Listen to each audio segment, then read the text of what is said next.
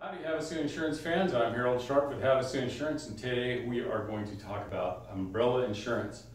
Obviously this isn't the thing you carry over your head as you're walking down the street in the rain. This is about having additional insurance coverage for bodily injury claims.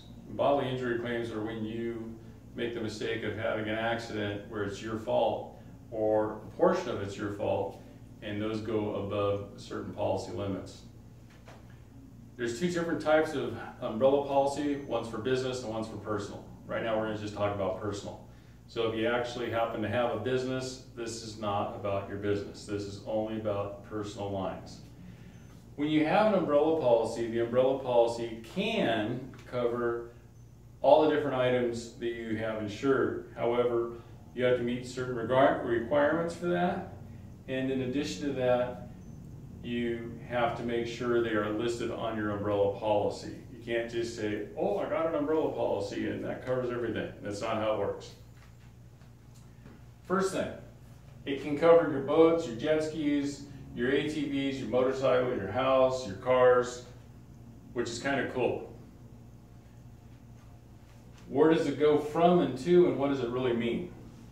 Well, generally, on these policies, the car, the boat, the house, the cars, the motorcycle, you have to have a $500,000 minimum. And if you looked at our other videos of getting insurance, this is that line right there, that $500,000 minimum.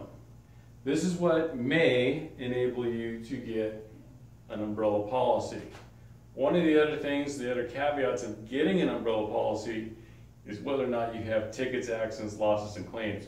If you do have those things, chances of getting an umbrella policy gets very tough to get.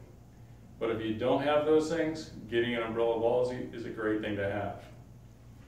Now I'm going to give you a roundabout idea of how much it costs for an umbrella policy. We talked about the 500,000. If you wanted to go 500,000 to 1 million, the average roundabout cost, this is not a quote, this is just a random number I'm picking out of the sky. Everybody gets quoted a different number, but some people go like, I want to know how much that's going to cost me. It's going to cost you about 350 bucks around to go from 500,000 to a million. And about $100 for a million more.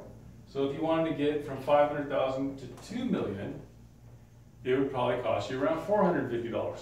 These are roundabout numbers. This is not an exact number. It's not a quote given to you. Now I want you to think about this. You're driving down the road and you get into an accident.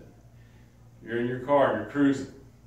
And in that accident, someone gets hurt and it's your fault. You went over the double line, something happened, and there's a large claim.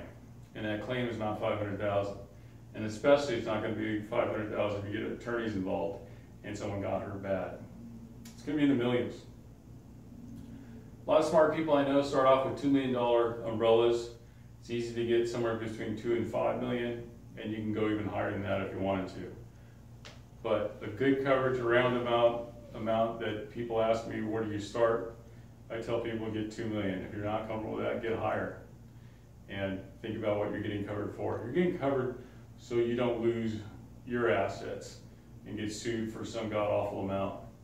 But it doesn't mean you get to go run off, you know, go crazy when you're driving. It means you're still a responsible driver, just in case you get into an accident, it's considered your fault. So we talked about how much it costs for an umbrella. Now, we're talking about one policy that covers all the different items. If you have the minimums in line.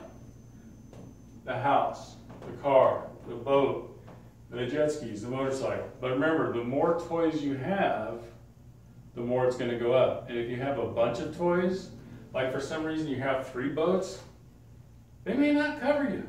They're thinking you've got way too many boats for the average person.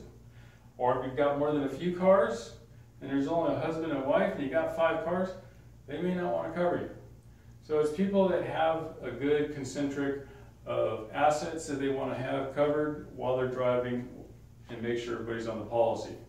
Then you want to make sure that those items are on your umbrella policy. So when you go from 500,000 to let's say 2 million, which is just a roundabout average number that people get, uh, and you have that coverage for, we'll say, four hundred and fifty bucks a year, it's not a bad way to go.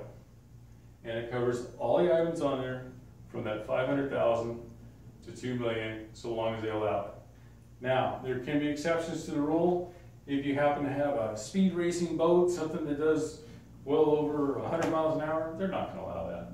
It, it just, it's not, you know, the average family type boat or whatever they're gonna wanna call it. It's a racing boat, they're just not gonna do that. So it gives you an idea, if you have an average vehicle, it's not modified or that sort of thing, you can probably get into the umbrella coverage so long as you don't have tickets, losses, accidents, claims, DUIs, that sort of thing. I'm Harold Sharp, and I'm with Havasu Insurance, and I'm trying to give you an idea how to get very good coverage of insurance. And again, this is bodily insurance unto others, and that's what umbrella policies are about. My phone number is 928-846-8003, and we represent good people in California, Arizona, Nevada, Utah, and Colorado. Thank you.